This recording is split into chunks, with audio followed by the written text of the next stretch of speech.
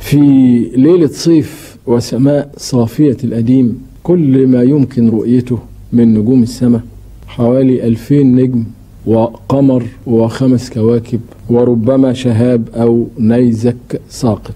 ده كان كل المتاح بالنسبة للفلكيين بتوع زمان اللي ما كانش عندهم آلات.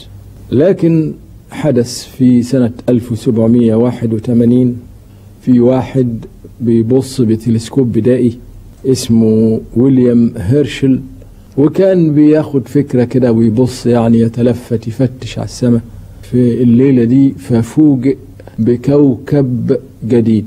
كان هو الكوكب السادس وإذا أدخلنا الأرض في الحساب يبقى كان هو الكوكب السابع. وهذه الليلة كانت ميلاد الكوكب أورانوس. بعد كده ب 170 سنة أمكن تصوير أورانوس ومعاه الأقمار الخمسة. بتوعه أمكن تصوير الحلقات التي تحيط بأورانوس اللي هي شبيهة بحلقات زحل. المناسبة إن كل عدد من السنين بالذات كل 175 سنة جميع كواكب المجموعة الشمسية بتصطف في صف واحد. وبالتالي دي فرصة لأنك ممكن تبعت مركبة فضائية لكوكب فالكوكب بالجاذبية بتاعته يروح حادفها أكنه مقلاع. وشفنا لأول مرة كوكب أورانوس مغطى ومغلف بالضباب والدخان. الجو بتاعه اتضح إن سمك هذا الجو 4000 ميل من الهيدروجين والهيليوم وبعد هذا الجو في بحر شامل من الغازات المسيلة اللي هي الميثين والنشادر والبحر ده عمقه 6000 ميل يعني حوالي 10000 كيلومتر. شيء رهيب.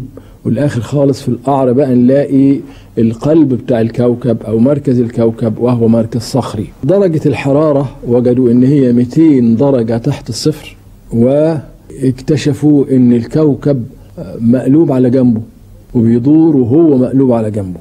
وبالتالي هتبقى الشمس متعامدة مش على مدار الاستواء وخط الاستواء زي الأرض لا هتبقى الشمس متعامدة على القطب. ومعنى كده إن دوران أورانوس مش هيعمل ليل ونهار هيتن النهار على طول. واللي بيحصل إن النهار بيقعد عشرين سنة. عشرين سنة نهار وعشرين سنة ليل على ما يتغير الميل بتاع الكوكب. لأن الدوران مش هيفرق. الدوران مش هيفرق لأن الشمس مش متعامدة على خط الاستواء لكن متعامدة على القطب. وبالتالي هنشوف كوكب عجيب رائد على جنبه وهو بيدور ليله عشرين سنة ونهاره عشرين سنة. ودرجة حرارته صقيع صقيع مطلق. الكوكب له خمس أقمار مسمينهم بأسماء الحوريات أوبرون وتيتينيا وأمبريو وميراندا أسماء كلها أسماء حوريات. تتفاوت أقطار هذه الأقمار من 300 ميل ل 900 ميل. أصغرها ميراندا وهو أقرب الأقمار إلى أورانوس. كوكب نهاره ما هوش زي نهار الأرض. يعني الإضاءة فيه واحد على 3000 من إضاءة الأرض لأن الشمس بعيدة أوي. فأكن نهار أورانوس زي ليل مقمر عندنا. وطبعا ليل أورانوس اللي بيجي بعد 20 سنة بيبقى كحل. أيضا الأقمار الخمسة إضاءتها طفيفة فهي تبان رمادي ومعتمة. الأقمار اتضح برضه كل قمر مخبوط على جنبه وبيدور على جنبه. أسرة غريبة جدا. من أورانوس وأقماره كله مضروب على جنبه كله بينام نايم وبيدور جنيبي. نفس الحكاية برضه نهار هذه الأقمار برضه 20 سنة وليلها 20 سنة. حول أورانوس وجدوا 11 حلقة شبيهة بحلقات زحل. يمكن الفرق إنها أقل سمكا والحلقات دي عبارة عن ذرات وتراب وحصى. فتفيت تلج عمالة تلف حوالين الكوكب. لا أثر لحياة أو نشاط على أورانوس إنما المنظر عدم في عدم وصقيع خامد. ونشوف الفيلم. دي السماء في ليلة صيف ما تشوفش فيها بعينك المجردة أكتر من 2000 نجم وقمر وخمس كواكب وشهاب ساقط أو كده. لغاية ما ذات مساء في سنة 1781 كان صاحبنا ده اللي هو ويليام هيرشل موسيقار هاوي فلك من الشباك بيبص كده صدفة شاف حاجة جديدة ما كانش بيشوفها أبدا في أي ليلة. كوكب سادس أو سابع بقى بالنسبة لأن لو حسبنا الأرض هيبقى كوكب سابع. هذا الكوكب سماه أورانوس. وهكذا ولد أورانوس سنة 1781 في مارس. وبعد كده ب 170 سنة أمكن تصوير أقمار أورانوس. أدي أربع أقمار هم والخامس الصغير ده ميراندا. بعد كده سنة 1984 أمكن تصويره.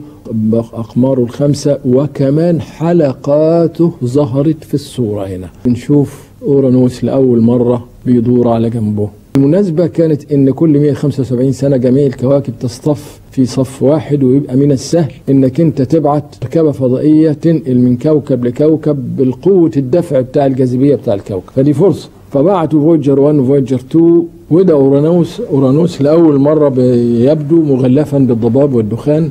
واتضح إن سمك الجو 4000 ميل ويليه بحر. سمكه 6000 ميل ومن الغازات المسيلة وفي القلب من الكوكب صخري القلب صخري. درجة الحرارة 200 تحت الصفر. حجم الكوكب حوالي 40 مرة قد الأرض. الكوكب قلنا إن هو مقلوب على جنبه فبدل ما هو يمشي زي الأرض الأرض بتمشي بالشكل ده والشمس متعامدة على خط الاستواء وفيها ليل ونهار. دورانها يعمل ليل ونهار. دي الأرض لأن الشمس متعامدة على خط الاستواء. إنما صاحبنا ده مقلوب كده. مقلوب كده. يبقى كأن الشمس متعامدة على القطب وبالتالي يدور ما يدور مش مهم. ما فيش لا ليل ولا نهار. ما بدورانه ما بيعملش ليل ولا نهار. زي ما إحنا شايفين نهار 20 سنة وبعد ما يغير الميل يبقى ليل 20 سنة. فحاجة طبعا غريبة. ويوريك الحركة اللي هي على الجنب اللي قلنا عليها دي وإزاي الشمس متعامدة على القطب مش متعامدة على الخط الاستوى فكن اللي إحنا شايفينه ده القطب. وبعدين ظهر فعلا أن حول حول الكوكب في حلقة كبيرة اهي الحلقة دي اللي سموها إبسلوم. أكبر حلقة فيهم اتضح إن مش حلقة واحدة وسموا كل واحدة بالاسم. وبين كل حلقة وحلقة عدة ألوف من الأميال بينما الحلقة نفسها عرضها بضعة أميال. 11 حلقة من جزيئات التلج والحصى بتلف حوالين الكوكب اللي بنورها بعيد من بعيد دي, دي الشمس. طيب ليه الحصى بيتعمل في حلقات؟ ما كان ممكن يبقى بالشكل ده. قال لك لا ده بيحصل إنه بيبقى حلقات بسبب حاجة اسمها الأقمار الرعاة. شايف القمر اللي لوحده ده؟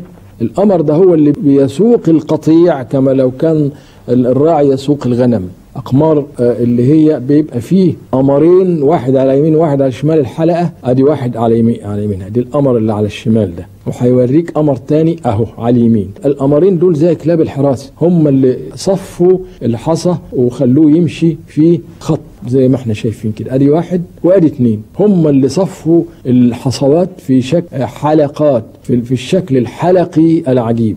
فأكن ده نوع من النظام. نظام نتيجة قوى الجاذبية للأقمار الرعاة. حاجة ثانية لاحظوها إن ما بين الحلقات وبعضها في إضاءة خفيفة. شايفين الإضاءة دي؟ معناها إن الحصى بيتفتفت بالتراب والتراب الشمس بتنوره. دليل على إن الحصى بيتفتفت وهيبقى تراب وتنتهي الحلقات في يوم ما بعد مئات السنين مئات الملايين أو مئات الألوف من السنين. شوفوا قدروا يوصلوا لمعلومات تفصيلية فعلا.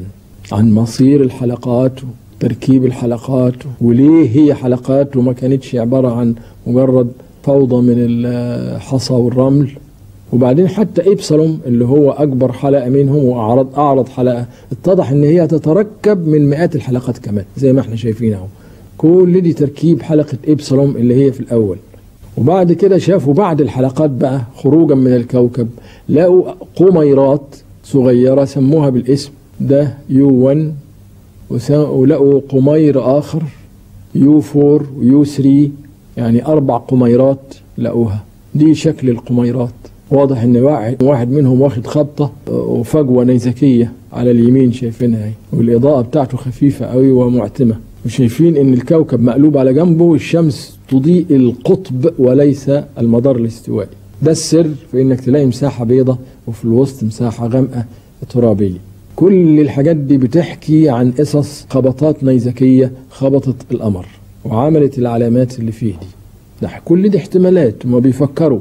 يعني مثلا في الأرض عندنا الفوالق دي كلها فوالق زلزالية بتحصل بالزلازل. وبعدين تيجي السيول تشكل الفوالق الموجودة دي وتعمل لنا الصورة الجيولوجية النهائية اللي بنشوفها على الأرض. فيا ترى اللي حصل هناك في الأقمار البعيدة نفس الشيء ولا عوامل أخرى؟ فبيفكروا.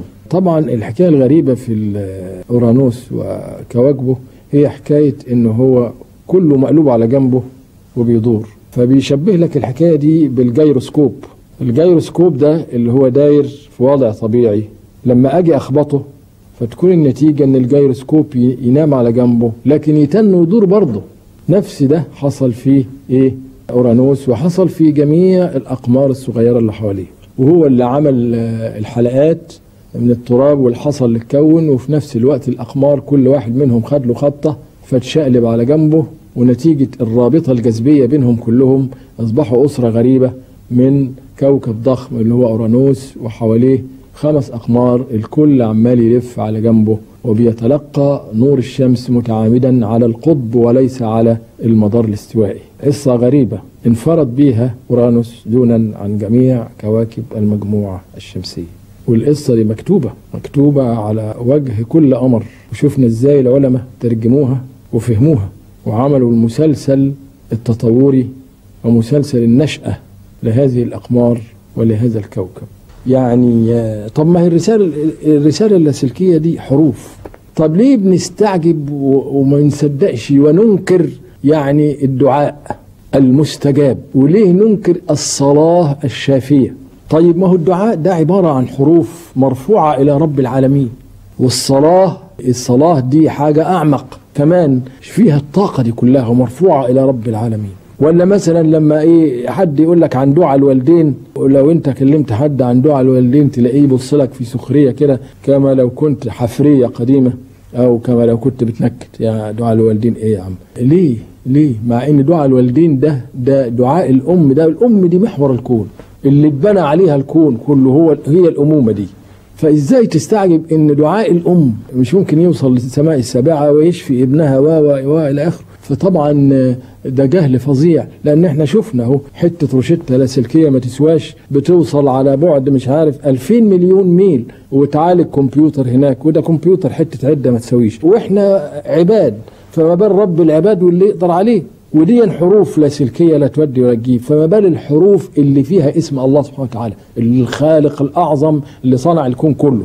فإيه وجه العجب؟ إن الدعاء يستجاب وإن الصلاة تشفي وإن دعاء الأم فعلا يكون له أثر أعظم من أي تأثير عقاقير ولا بنسلين ولا مش عارف إيه ولا إيه. يعني هي المسألة مسألة جهل. وبعدين مش قادرين نفهم أولويات المسائل وبعدين مش فاهمين نعرف النسبة الحقيقية. من, كتر ما جرالنا نوع من الانبهار بالحاجات الصواريخ وبتاع وكلام. أما تحطها كده بالنسبة للشموس والنجوم ومش عارف والكون اللانهائي ده تلاقي دي مجرد لعب. يعني هي صحيح حاجات مفرحة ومبهجة ومبهرة وتدل على علم لكن لازم نحطها في حجمها الحقيقي. فما يصحش إن الحاجات دي تحجبنا عن القدرة العظيمة لخالق الكون. ده بالعكس ده ربنا بيدينا مثال عن طريق الحاجات العلوم. ما هو اللي ادانا العلوم دي كلها؟ وهو اللي علمنا اللاسلكي والمش اللاسلكي وإزاي نبعت ونعمل وكمبيوترات. ما هو ده العلم هو اللي مديهولنا. فبيضرب لنا مثال بإننا ما نستعجبش يعني لما واحد يقول يا رب إنها ممكن يا رب لما تطلع من القلب ومن الأحشاء وتطلع بالدموع. يا ده تحيي أمم من عدم. فربنا بيضرب لنا المثال ولازم نفهم القضية في حجمها الحقيقي. وبعدين ما نستهنش بالحقائق الكبرى. فالأمومة ده شيء رهيب شيء عظيم. محور اللي اتبنى عليه الدنيا. النقطة الثانية اللي هي نقف عندها في تأمل في حكاية أورانوس الحكاية الغريبة دي إن الكواكب والنجوم لها تاريخ ولها عمر ولها مسار ولها تطور ولها أقدار وتجري عليها الحوادث زي ما شفنا الأورانوس إزاي هو وباقية الأقمار ابتدوا من سديم وتكثفهم وبقوا على شكلهم الحالي. وبعدين جه أورانوس خد خبط محنة زي المحن اللي ممكن الواحد وهو ماشي في السكة عربية تخبطه. فجاد خد خبطة نام على جنبه فبدل ما بقى يلف بيبقى له ليل ونهار زينا. بقى بيلف وما فيش لا ليل ولا نهار. بقى النهار بتاعه عشرين سنة والليل بتاعه عشرين سنة. وكذلك كل الأقمار. حاجة غريبة جدا. بفتكر الآية ربنا سبحانه وتعالى بيقول قل أرأيتم إن جعل الله عليكم الليل سرمدا إلى يوم القيامة من إله غير الله يأتيكم بضياء؟ مين صحيح؟ مفيش مفيش حد غيره. ما هو اللي بنى الكون وهندسه وأسسه على أساس إن في الأرض الليل بيبقى 12 ساعة والنهار 12 ساعة وفي القمر بيبقى الليل 15 يوم وفي أورانوس الليل عشرين سنة وفي نبتون الليل أزلي. مين اللي عمل الحاجات دي؟ ما هو. هو. من إله غير الله يأتيكم بضياء؟ ما فيش. ما فيش حد غيره.